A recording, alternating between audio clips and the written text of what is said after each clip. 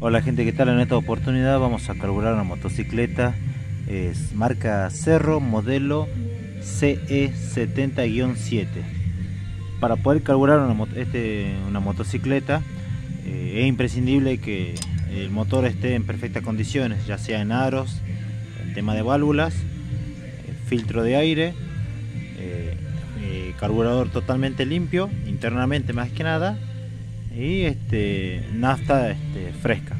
Digo, ¿por qué fresca? Porque hay veces que deja la motocicleta mucho tiempo y la nafta va perdiendo propiedades.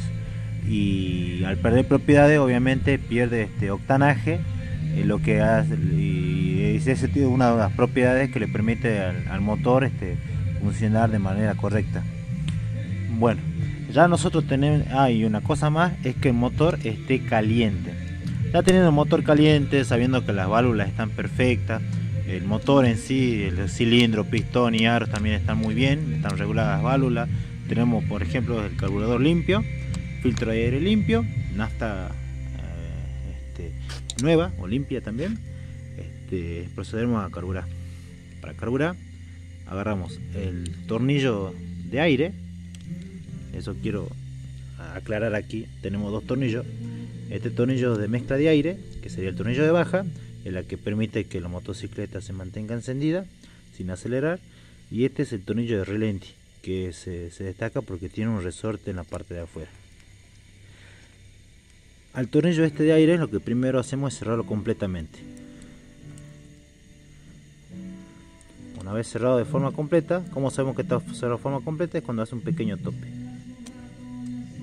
Hace ese tope y agarramos y lo abrimos media vueltita. Al tornillo este de relenti lo ajustamos una vuelta. Media, una.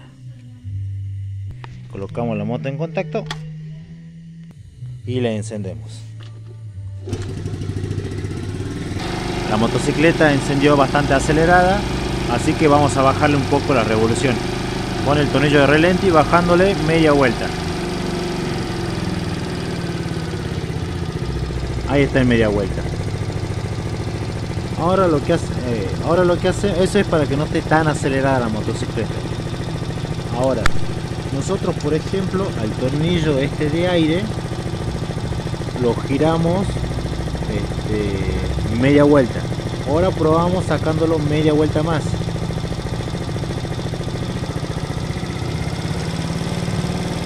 Como si se dan cuenta la motocicleta se aceleró un poco más ahora vamos con ya tenemos una vuelta completa. Ahora desajustamos media vuelta más.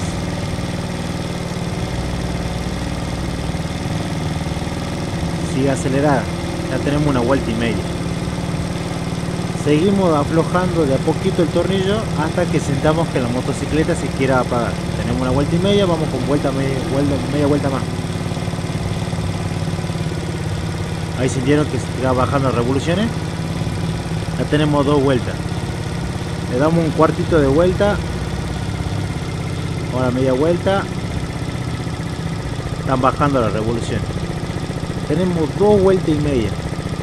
Cuando nosotros apenas sentimos que la motocicleta haya bajado revoluciones a partir de ahí volvemos a ajustar pero contando de media vuelta en media vuelta. Hasta que la, que la moto se quiera apagar de nuevo. Tenemos media vuelta ahí Ah, empecemos de acá, perdón. Tenemos cero. Media vuelta. Y la moto se va a empezar a acelerar. Una vuelta. Una vuelta y media. Dos vueltas. Hay gente que se quiere apagar. Bueno, ese es el punto desde el punto que se quiso apagar cuando sacamos el tornillo hasta el punto cuando se quiso apagar cuando ajustamos el tornillo son las vueltas que tenemos que contar. Tenemos volvemos a contar media una una y media y dos. Ahí se quiere apagar. Bueno sabemos que son entre dos vueltas así que la tenemos que dejar en un punto intermedio que sería de las dos vueltas una vuelta. Media una y ahí está reacelerada. Tenemos que buscar el punto en el que esté más acelerada la motocicleta y simplemente con el otro tornillo de relenti le bajamos la revolución.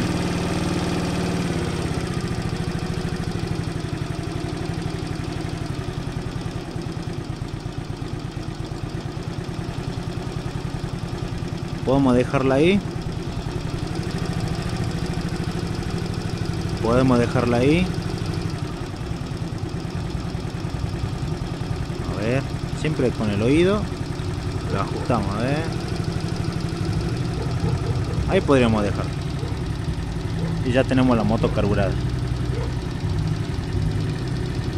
En este modelo o en cualquier otro las vueltas no son las mismas en todas va a depender del estado del motor el estado del cilindro como eh, eh, como lo comuniqué como lo mencioné al comienzo del video este, son cosas que van a estar este, condicionadas para que podamos carburar así que ese sería el punto en el que tendría que estar la motocicleta como le digo no, no todas, pueden ser las mismas motos, pero de acuerdo al estado de que esté cada una, ya sea motor, limpieza del carburador, filtro sucio, nuevo, en hasta nueva vieja, puede variar.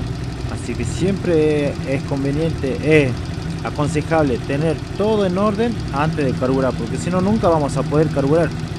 Quizás carburemos y en lo que estemos este, eh, manejando la motocicleta se nos apaga o se nos acelera, es porque hay un problema aparte de carburación.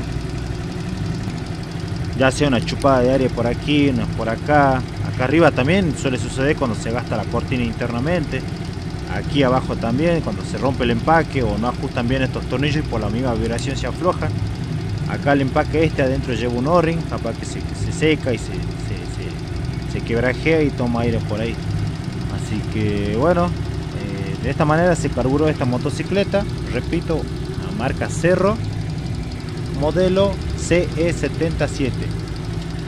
Este, espero que les haya gustado el video, cualquier este, duda que tengan, tengo otros dos videos de carburación que son prácticamente el mismo método.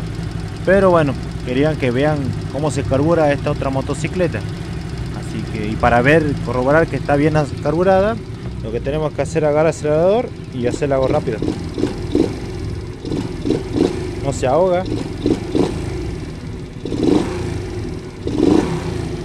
Y corta enseguida. Epa. Así que bueno, espero que les haya gustado el video. Y este, nos vemos en un eh, próximo video.